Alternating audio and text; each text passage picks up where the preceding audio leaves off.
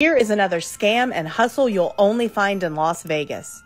See this guy over here in the neon shirt? They're all over the boulevard. You'll walk past and they'll push a card into your hands.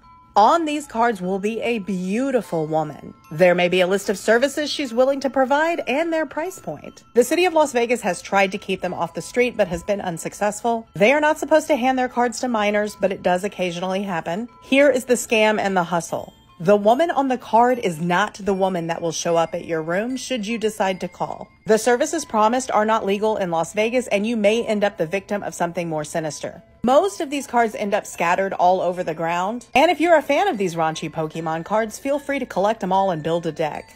The areas surrounding Las Vegas have plenty of regulated, safe avenues for adult fun.